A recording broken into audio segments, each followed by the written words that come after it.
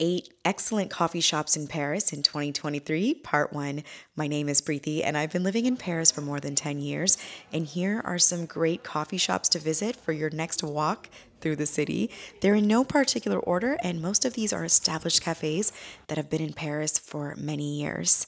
Number one, Residence Kann, located in the 10th arrondissement. Great coffee, but they also have excellent little selections of sweet and salty little treats like homemade cakes, cookies, banana bread. The staff here is so welcoming as soon as you walk in. I do always get their avocado toast, which is always topped off with greens and citrus and very fresh.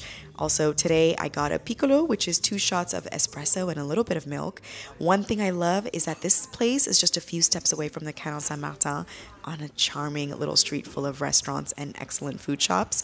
Moving on, number two is Ten Belles, also located in the 10th arrondissement. This is also just steps away from the Canal Saint Martin, which makes it a great location, and the name comes from the street it's located on. This is a very much local favorite that has been a staple in the city for 10 years. One thing I would highly recommend there is their homemade sandwiches.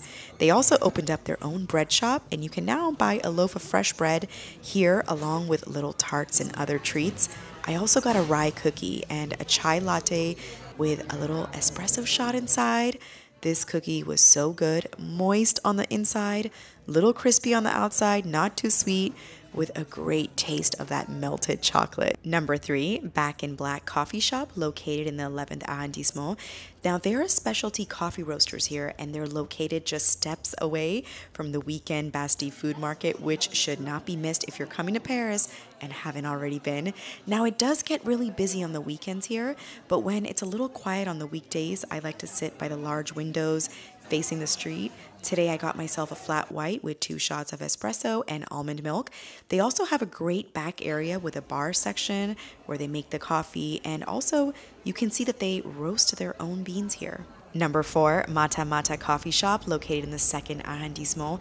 I love this coffee shop. They've been around for years here in Paris. Their location is excellent, great for food, shopping, and just also overall ambiance. Now, it's a tiny little space, also located in a tiny little street.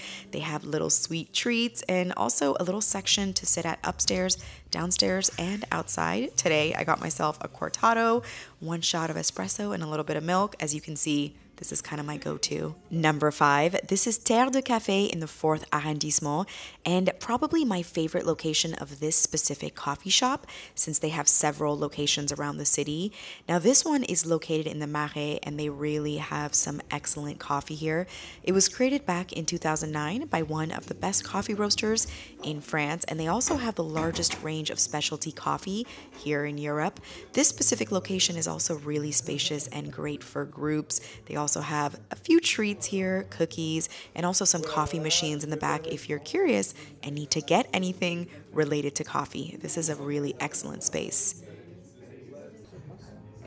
Number six, Loustic Cafe, located in the third arrondissement. This is another very established coffee shop located in West Marais that's been around for 10 years in Paris and a very much favorite local spot.